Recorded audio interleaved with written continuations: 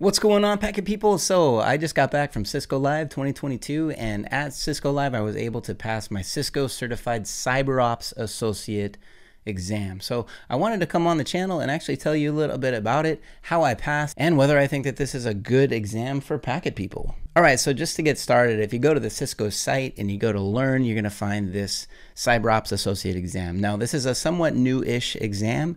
It used to be on the CCNA track, but now it's been broken out into its whole other track, and that's just under the security track. Now, I thought overall it's a pretty decent intro level exam. Now, just to take a look at the exam topics, I'm just going to show you that here. So here we can see under the exam description, uh, there's some overall security concepts, monitoring, host-based analysis, network intrusion, security policies and procedures. Now, uh, not all of these are weighted the same on the exam. You do have to pass in the low 80% in order to actually get your certification. But again, if you stink at one of these areas and you're stronger in others, it could be that you'll still pass the test. Look, that was absolutely the case for me. In fact, just go ahead and check out my score report. If you look at here, cybersecurity concepts, I had 90%, security monitoring at 88, host-based analysis 45, uh, so yeah, I stink at host-based analysis, at least right now. So I was stronger in some areas and I was weaker in others. But how did I actually pass this exam? Well, for me, first of all, I already have another cybersecurity certification, and that's the Certified Ethical Hacker. So there was actually quite a bit of overlap in those core security concepts with the CEH and the Cisco CyberOps. So if you already have another certification like Sec Plus or the CEH or something like that, it could be that the Cisco CyberOps isn't that much more of a stretch for you to get. But if you're brand new to cybersecurity, there's going to be a lot coming at you. Overall, cybersecurity concepts, as well as monitoring and network analysis. Now, what did I actually do to pass? I actually went ahead and bought the full course guide, the Cisco CyberOps Associate book. And I'm going to be honest with everybody. I only read one chapter of it, the very first chapter. And I did some of the other tests just to take a peek at what are some of the other concepts, but I did not read this book cover to cover. Again, consider my background. I'm a packet head.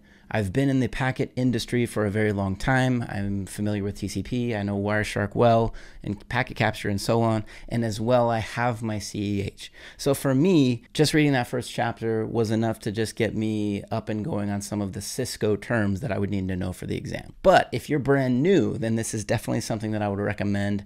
Uh, even thumbing through the rest of the book, there were some uh, good overall concepts that I think would be useful to you. And I really like the way that there's an intro test on do I know this already?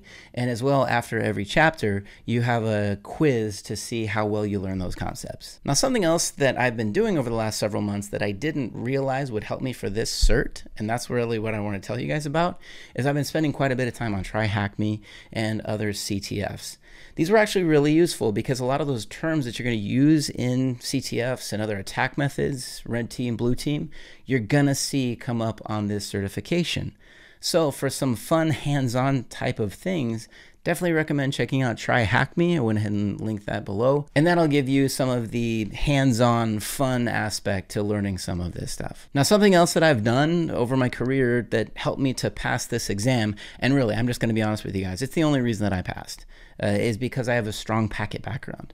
I spend my career looking at packets. I'm looking at Wireshark. I'm looking at TCP. Uh, I know how intrusion detection systems work. I know what they're looking for as far as deep packet inspection.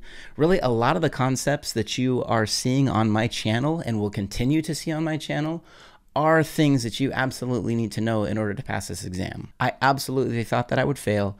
The only reason that I did not fail is because of my packet background. There was lots of questions, as you can see in the exam description, that were around packet-centric things. TCP flows, what does an IDS do, and uh, how does it contrast with an IPS, and so on. So on this channel, I'm actually covering a lot of the concepts that you're going to need to know in order to be successful at passing your Cisco CyberOps Associate. So do I think it's a good exam? I do. I had a good time taking it. I would definitely recommend it as an intro level exam. It's going to be a little easier if you have another exam like the Security Plus. Of course, it's Cisco centric. So if you are working at a place that is a Cisco shop, or you would like to work at a place that is a Cisco shop, again, this would be a great cert for you. So there was some overall feedback on the Cisco Certified CyberOps Associate exam. I hope that was helpful for you. Definitely going to be covering more specific things that turned up on that test here on this channel. And I hope that that helps all of you guys ace it should you choose to take it. Now, one concept that you absolutely have to know cold to pass this test would be the TCP handshake. So go ahead and click here to get more information on how that works.